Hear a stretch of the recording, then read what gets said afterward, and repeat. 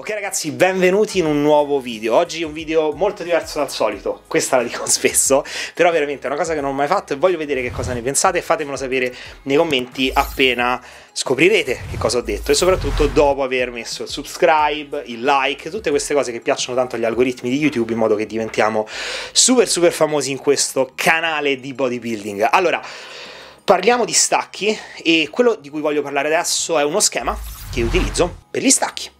Quindi vi faccio vedere praticamente uno schema che potete prendere, inserire la vostra programmazione nel suo ciclo, sperimentarlo e farmi sapere che cosa ne pensate. E vi faccio sapere quelle che sono le logiche di utilizzo per darvi uno spunto sostanzialmente. Quindi non farò questo video, eh, ah con questo schema aumentate il massimale, ah con questo schema di qua di là.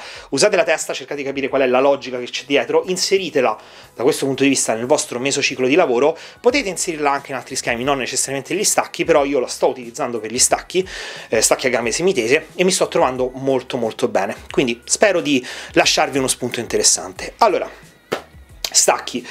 Uh, vado a inserire io personalmente questo esercizio come secondo o terzo esercizio dopo un esercizio di leg curl per scaldare bene i femorali e per riattivarli o addirittura due esercizi di leg curl nel caso in cui voglia depotenziare la mia performance sugli stacchi per un semplice discorso di riduzione infortunio quindi vado a massacrare per bene i femorali così comunque li sento belli attivi partecipano al lavoro e sugli stacchi perdo qualche ripetizione, perdo un po' di chili, um, poi vado a migliorare logicamente nel corso della settimana, però perdo un pochetto, quindi do lo stesso stimolo riducendo un filo il eh, rischio infortuni. Quindi queste sono due alternative, però in genere una preattivazione è molto molto utile. Poi io spesso faccio un primo lavoro di leccarle e poi una serie di adduttori per scaldare gli adduttori e attivarli al meglio, quindi anche in questo caso c'è una riduzione di rischio infortuni, non mi compromette la performance sugli stacchi perché non impatta sugli stacchi, però sono poi molto molto più stabile, questa è una cosa che noto quando vado a fare stacchi e nel frattempo mentre faccio adduttori i femorali recuperano un minimo, quindi anche se sono affaticati riesco poi ad attivarli al meglio, ma non vanno a compromettere quello che è il carico che utilizzerò negli stacchi. Quindi queste sono tre modalità di inserimento che potete assolutamente sfruttare e sperimentare. Um, nel mio caso dipende dalla fase specifica. In questo momento specifico faccio leg curl, adduttori, stacchi. Ok? Stacchi a gambe semitese. Ho già parlato delle differenti tipologie di stacchi, quindi focus, femorali e glutei. Ok, allora, in primis il warm up. Warm up in cui faccio una prima serie a bilanciare vuoto da 10 ripetizioni, metto 20 e 20, faccio 8 ripetizioni, metto altre eh, 40 e 40, quindi 100 totali e faccio 6 ripetizioni e da là salgo di 10 in 10 per parte, ogni tanto aggiungo soltanto 5 per parte, iniziando a scalare le ripetizioni, quindi faccio 6, poi 5, poi 4, poi faccio un paio di serie sulle triple, poi faccio 2 ripetizioni, quindi lavoro sulle doppie, quando arrivo al carico target, che è il mio primo loading set, quindi la prima serie allenante, faccio soltanto una singola, che è circa un 8-10 RM nel mio caso, ok? Quindi il mio primo loading set di questo schema è un 8-10 RM, per cui salgo gradualmente, lavorando sempre su poche ripetizioni per non perdere performance, per non affaticarmi, ma sentire gradualmente il carico. A un certo punto arriverò al mio carico, che è l'8-10 RM, su questa variante di stack in cui ho uh, delle stop reps, quindi eccentrica lenta, stop un secondo in basso e riparto, di nuovo facendo un recap perché tanto me lo chiederete, me lo chiedete spesso, uh, 10 ripetizioni a bilanciare vuoto, 8 ripetizioni con uh, 60 kg totali, 6 ripetizioni con 100 kg, aggiungo 10 10 quindi sarebbero 120 kg, vado sulle 5 ripetizioni, 140 kg faccio 4 ripetizioni, 160 kg faccio 3 ripetizioni, faccio una doppia con 170 e faccio una singola con 180. Ok? Questo è lo schema di warm up. Il recupero inizia a essere un minuto all'inizio, poi pian piano va verso i due minuti. Prima di fare la singola recupero due minuti, dopo aver fatto la singola recupero 3-5 minuti prima di partire col primo loading set. Fino a qua abbiamo fatto warm up. Adesso partiamo con la prima serie allenante che sarà un loading set. Semplicemente prendo questi 180 kg e ci sparo tutto quello che ho. Cerco di chiudere 8-10 ripetizioni, se chiudo eh, 8 o 9 o 10 ripetizioni, la prossima settimana mantengo sempre 180 kg, perché quello è il mio 8-10 RM ancora. E il mio scopo sarà quello di chiudere una ripetizione in più rispetto alla precedente, quindi sempre 180, punto a chiuderne una in più. Se faccio 11 ripetizioni, quindi sono fuori dal mio 8-10 RM, allora la volta successiva aumenterò il carico e passerò a 185 kg, puntando di nuovo a dare il tutto per tutto e puntando auspicabilmente a fare sempre 11 ripetizioni, perché vorrebbe dire passare poi a 190, ma se ne chiudo per esempio con 185-10, allora rimango di nuovo con 185 con calma e proverò a uscire dal rep range, proverò a chiuderne 11. Quindi lo schema di progressione sul mio loading set è molto semplice. 8-10 RM, appena esco dal rep range, quindi faccio più ripetizioni. Faccio più di 10, quindi 11 o più ripetizioni, la volta successiva aumenterò il carico di un filo, come detto, di 5 kg, quindi 2,5 per parte, veramente poco, con calma e mi godo questa progressione nel corso delle settimane. E per tutte le settimane che ho avanti, io punto ogni volta a rosicchiare qualcosa. Se non ci riesco, non è un problema, pareggio, faccio una ripetizione in meno, potrebbe essere andato storto qualcosa, Logicamente se è qualcosa che si cronicizza, c'è qualcosa che non va nel recupero e devo un attimo rivedere. Però se rimango anche 2-3 settimane in cui non riesco a superare questo loading set, va bene, continuo ad insistere. Sto comunque dando stimoli ipertrofici finché do il 110%. Forma di esecuzione sempre in primis. A questo punto scarico, recupero e diminuisco il carico di circa un 20%. Ok, circa. Um, da questi 180 kg diciamo che passerò a 150 kg. Ok, quindi un poco meno del 20%.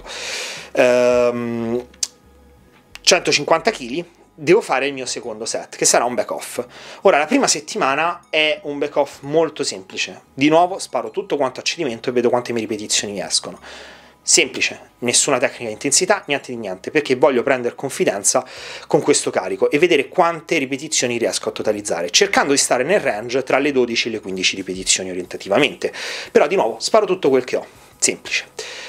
Dalla seconda settimana inizio ad applicare il mio schema solo sul back off, quindi il loading set continuo a cercare di progredire gradualmente indipendentemente, ma anche sul mio back off voglio progredire, ma voglio progredire con uno schema, uno schema che mi permette di aumentare quello che è il mio tonnellaggio totale su questo secondo set. Ossia, come detto, con 150 kg chiuderò circa 12-15 ripetizioni, qualcosa del genere. Dipende anche dalle mie caratteristiche percentuali di fibre, capacità su diversi uh, sistemi energetici, quindi è anche soggettivo. Ci sono persone che se scendi un filo di carico sparano un sacco di ripetizioni in più, persone che se scendi un filo non sparano tanto di più, considerando anche che è un back off. Però ricordate, riposate tanto tra il loading set e la seconda serie, ok? Non fate passare un minuto, due minuti, riposatevi anche 5 minuti perché avete fatto appena una serie loading set a cedimento sugli stacchi, quindi avete bisogno di tempo, non lasciate le cose al caso. Perfetto. Seconda settimana, lo schema è molto semplice, 5 cluster da 5, quindi 5 x 5, con 60 secondi di recupero. Molti di voi potrebbero pensare che sono 5 serie da 5.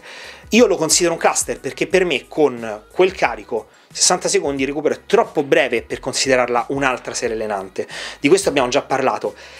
Le serie, le ripetizioni che andrò a fare saranno quasi solo effective reps dopo il primo cluster ok? Quindi non avrò quella componente di ripetizioni di accumulo di fatica e poi effective reps che mi caratterizzano una serie ex novo, ma in realtà è un accumulo di effective reps e quindi è più un cluster set.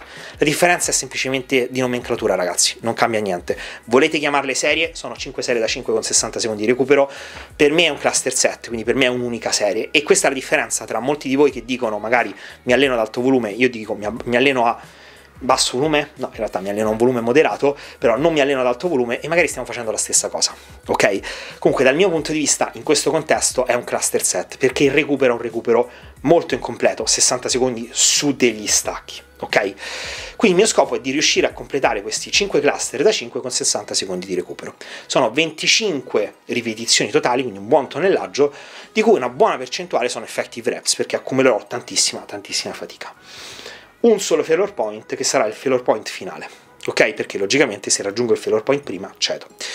Se io chiudo questo schema, quindi se io riesco alla fine a fare 5 ripetizioni, l'ultima in realtà, l'ultimo cast era un max, quindi se me ne escono 6-7 le faccio, voglio comunque un failure point. Se chiudo lo schema, la prossima volta aumento il carico, quindi il gioco è sempre lo stesso. Um, da 150 passo a 155, 160 in base allo scarto. Se ne ho fatto all'ultimo 7 ripetizioni, vado a 160. Se ne ho fatte 5 precise, provo 155.